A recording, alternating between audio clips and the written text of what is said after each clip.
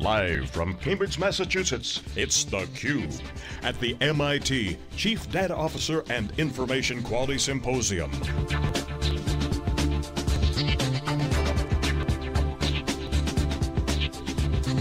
With hosts Dave Vellante, Jeff Kelly, and Paul Gillin.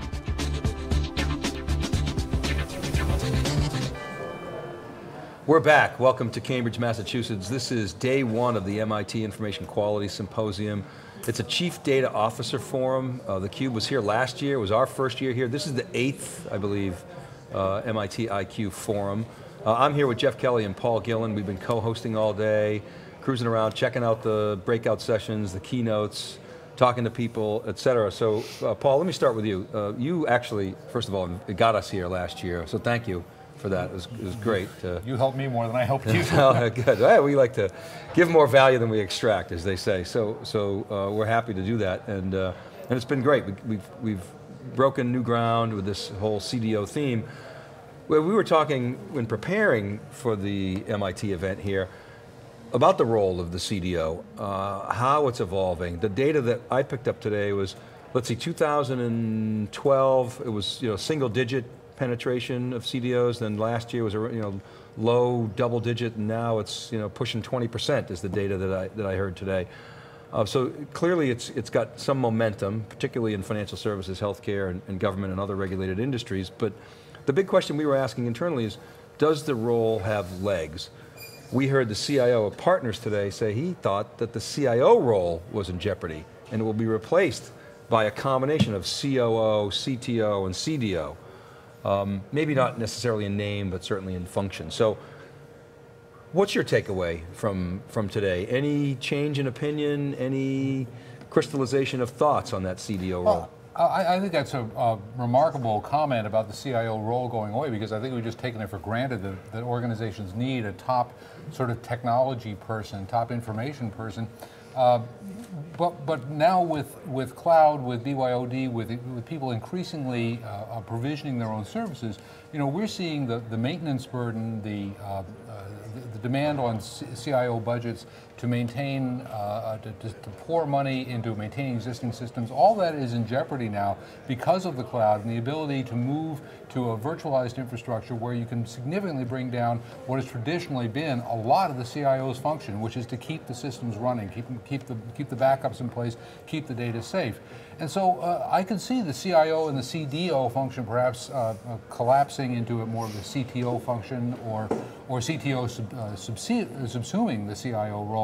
I, I, think what matters though is, is the data, is the supremacy of data. And we certainly heard that at the, uh, at the event today. This is all about uh, corporate competitiveness is all about data. And it's something Rick Watson kicked off the, the, the event this morning talking about corporations have to move quickly to translate their assets into data because once you once you have data, once you're working with data about your assets, then there are so many more things you can do to achieve efficiencies, to achieve multiplications, to combine with uh, with uh, partners, and to derive more value out of the data about your assets than you do out of just the assets themselves.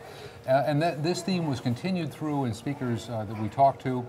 Um, I was struck by also by the uh, the comments from Jeannie Ross, who was one of our, our early um, guests today, where she was talking about don't go too far with big data. Don't go overboard. What we really need to do is just understand data better. Learn to use the data we've got. And I think that was another overriding theme I, I heard here. It's not about big data, it's about data. It's about how we use it, how we combine it, how we make it accessible instantly to our mobile devices, and that's where the real opportunity is for businesses to change.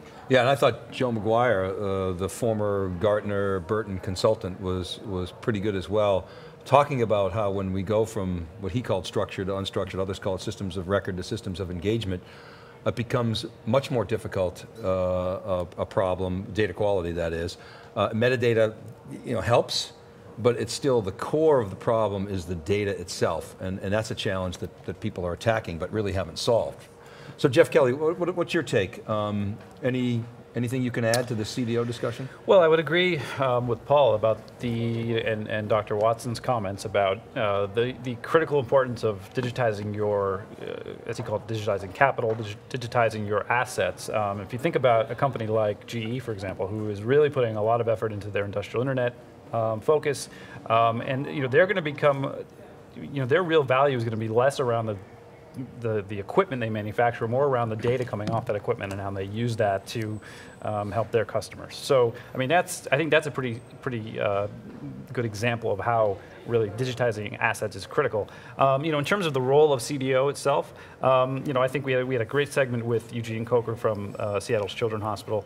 Um, a couple of things he said that really stuck out to me, um, that it was all about getting stakeholders engaged very early in the process, basically in the beginning of the process, any kind of data-led initiative, um, rather than kind of having your data scientists off to the side, do some analysis, determine we're going to change our process to this, and just you know, basically tell the organization this is how we're doing things now, but rather get all the different stakeholders, all the business uh, business side stakeholders involved from the beginning.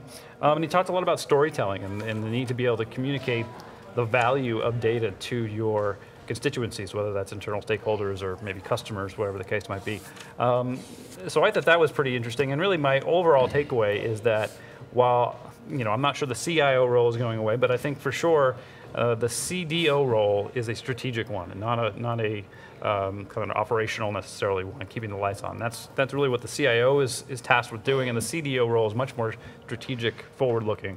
Um, and I'd say more of a business role, certainly, than a, than a technology role. I want to add one, one thing to that. The, uh, we heard a lot about culture today and about the importance of the, uh, to the CDO of influencing the way organizations think about data.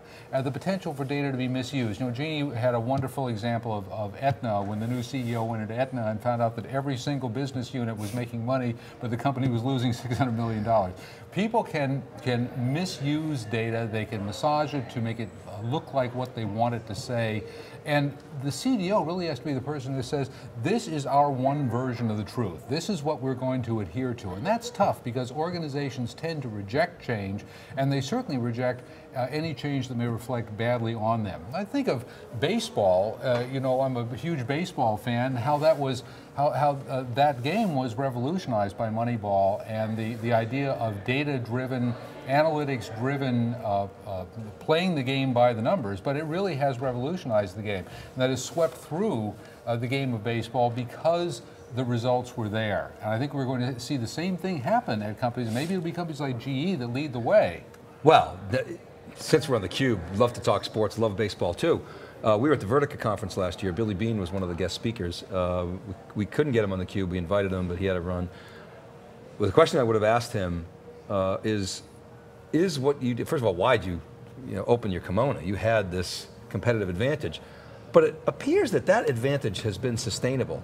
Why, why, why is that? It's sort of an aside, but I want to apply it to the, the, the business we're in.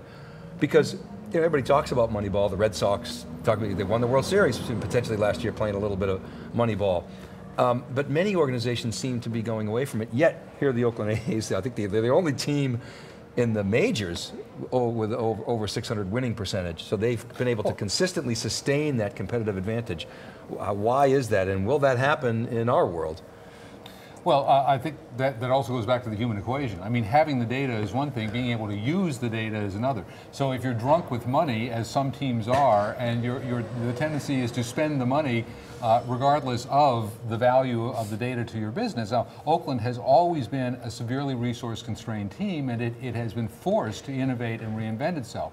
Uh, what they have to do now is they have to consistently raise the bar. Sports Illustrated, cover Sports Illustrated a couple of weeks ago had a piece about the Houston Astros and how they're sort of doing Moneyball on steroids now, where they're attempting to reinvent that whole team around a statistical orientation or making some very kind of strange decisions in the process Uh, throwing away first round draft picks and such. But there's a, there's a, uh, a method to the madness that they believe is going to pay off in a world championship in the next four to five years.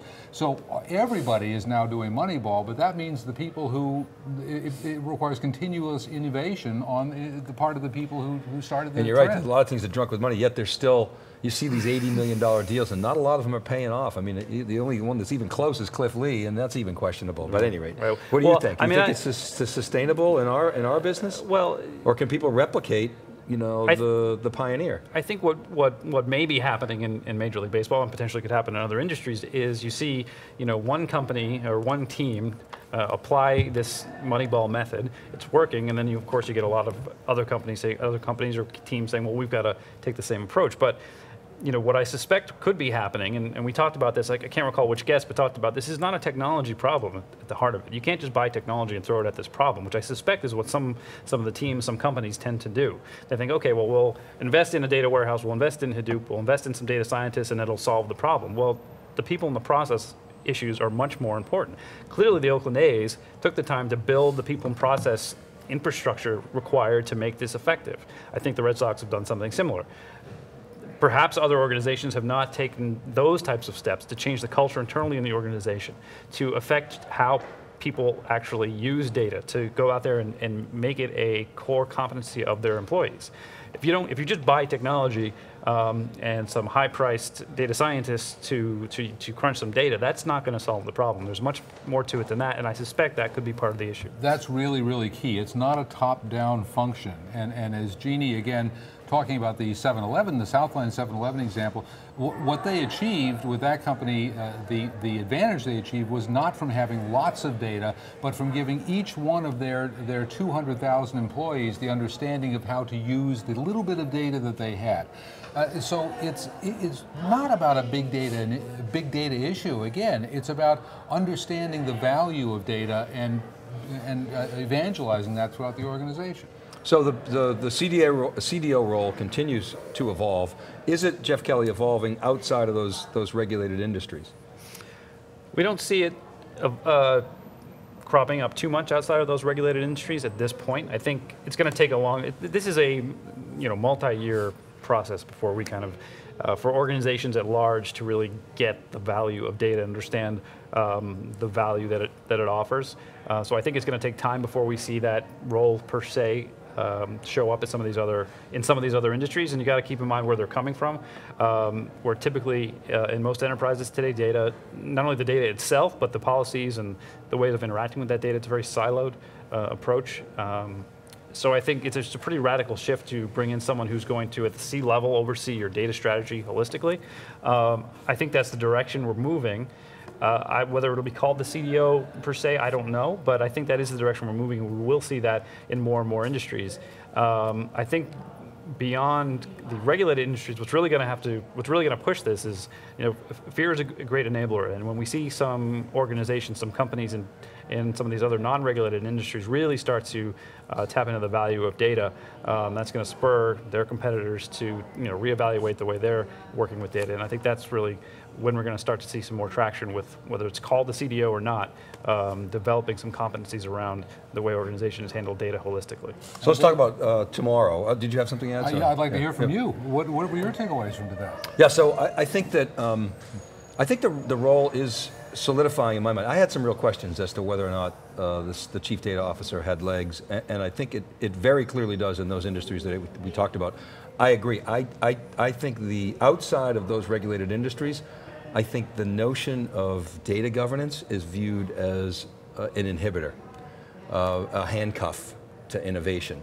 Uh, and so I, I, think it's, it's very questionable to me whether or not that will ever take hold. And, and I don't think the CIO role will die outside of those industries. It very well may in selected cases inside of those industries. I think the CIO role is alive and well. It's transforming into more of a, more of a, a, a, a business orientation. Um, I think the other thing is, um, I think that companies are not as data driven as they say they are. That's my other sort of takeaway and just talking to organizations and talking to people around here. Everybody at the senior level says, oh yes, we're data driven, we're data driven, we're data driven, but they're really not. Uh, they don't have a data driven culture, they don't have the systems in place, uh, they, they don't have the, the data architecture, a lot of times they don't even know their data sources, they're not leveraging data for competitive advantage. Uh, I think Jeannie said it, they're metrics driven um, they might try to optimize, an, an, individual business unit might optimize on a metric, that I believe. They may be output driven, but not input driven. Yes, that's right. And so I think that's a change that is coming, and I think companies that are truly data driven, we could spend all day defining that, are going to lead the pack in, in industries and transform industries. And I think you're seeing that, you know, certainly you see that with guys like Amazon and Google, and that's trickling through, I think, to virtually every industry. So those are two of my, my big takeaways, and I think I'm, I'm very excited to hear uh, from the folks tomorrow. Uh, we got some folks uh, from State Street coming on, some senior data governance people, um, uh, guys from the Navy, Deloitte's coming on, Um, who else do we have, We've Jeff? got a bunch of exciting? practitioners tomorrow, which is exciting. We do. We've got, um, let's see, I think that the U.S. Army may be coming on tomorrow. We've got, Halamka's coming on, who is Yep, the from- former CIO of Partners, and I think is now at, uh, at, Beth uh, Israel. Beth Israel, right? yep. So um, yep, we've got uh, Acxiom coming on, talking about data privacy. There's a, you know, data broker, and they're kind of front and center in this whole data privacy controversy or coverage around, you know, what is acceptable use of consumer data? Should should consumers have some kind of, you know, a quote unquote bill of rights uh, when it comes to data and privacy? What should they expect? Or the ability to have their data withheld from Google search results, perhaps? Uh, there's another good point. Yeah. So I think big the, day tomorrow. I think the other thing um, that I guess I would observe is, you know, the Jeff Hammerbacher quote that I invoked today. Uh, you may be familiar with it, where the, the Jeff Hammerbacher, former uh, Cloudera, former Facebook, said the best minds of my generation spend all their time figuring out how to get people to click on ads. Sort of, and and that was his sort of slap in the face. And this was Well, probably yeah. two or three years ago. He's subsequently left Cloudera. I think he might still be I think he's got a title involved in a but- cursory way. He's got a title, but he left. He's, I believe, an MD, right? And he left, or he's. I'm not sure if he's an MD, but he's over at Cedar a Sinai, I think. um, he's at or Mount Sinai, excuse Medical. me. Medical, um, yeah. You know, solving, you know, difficult medical problems with data. Uh, so my point there is, I think while that was probably true at the early days of big data, it's really changing. Um, you're certainly seeing it uh, penetrate fraud detection.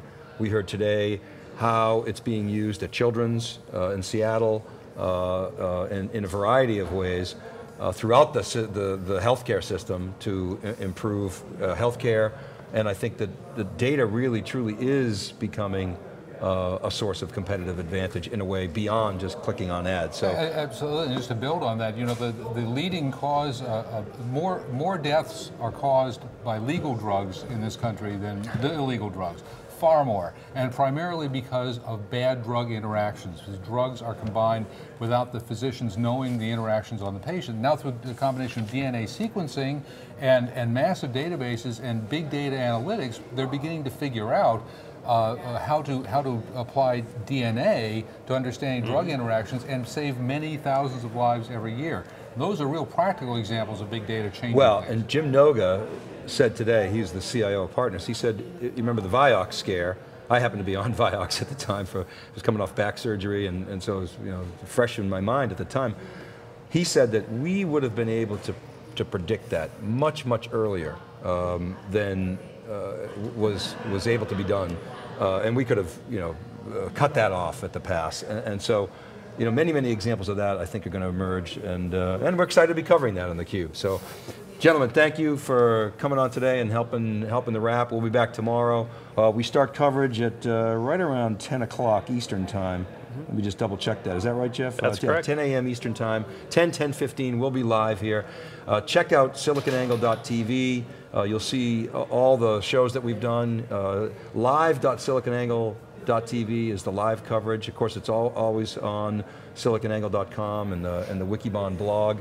Uh, and check out wikibon.org for all the research. Uh, so we're wrapping up day one. Uh, Jeff Kelly, Paul Gillin, and Dave Vellante. We will be here tomorrow. This is theCUBE. Thanks for watching, everybody. We'll see you then.